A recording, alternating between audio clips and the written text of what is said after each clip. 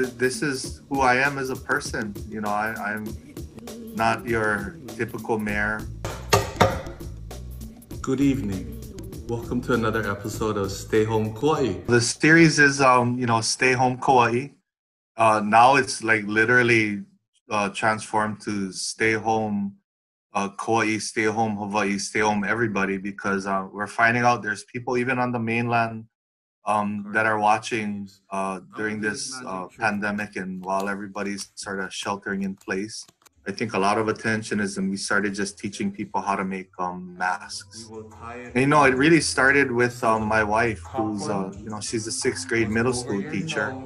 And so she just wanted to do a few crafts and just a few simple projects to keep kids occupied.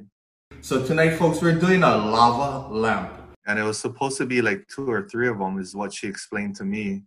And um, people really started to appreciate it. If you can see that, that's pretty cool. I get to be who I am. my. I get to still be a mayor and, and, and hold the line and be stern and conduct business.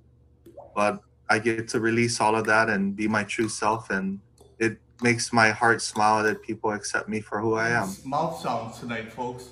Nah, just kidding. And I think that's the message I'm getting out to people is that feel comfortable in your own skin. Don't try to fit anybody's mold and um, follow your own arrow.